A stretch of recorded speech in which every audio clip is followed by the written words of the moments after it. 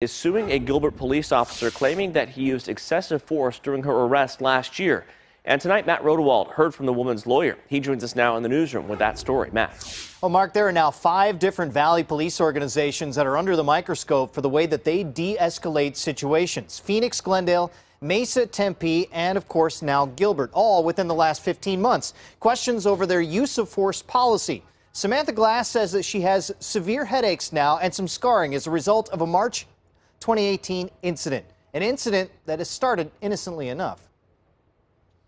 Body cam video from the March 2018 incident with Gilbert Police begins with a friendly exchange, but it's very clear that Samantha Glass was drunk and did not intend to cooperate. She had had too much to drink, she was intoxicated, and that was apparent.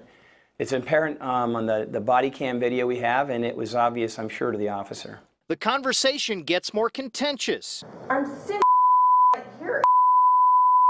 Don't swear at me. I haven't sworn at you.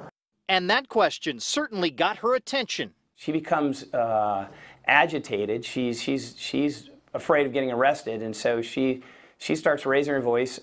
Um, the officer, who I'm sure outweighs her significantly, certainly larger and stronger in stature. You're not free to leave.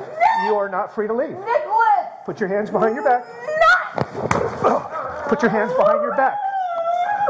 As she gets pushed to the pavement, it's this particular move by Officer Christopher Robinson that is being called into question against an unarmed drunk suspect. Because it's not necessary. I, I, mean, she was intending to leave. The officer said she did not, she wasn't allowed to leave. Let her walk downstairs. She's not going to outrun him.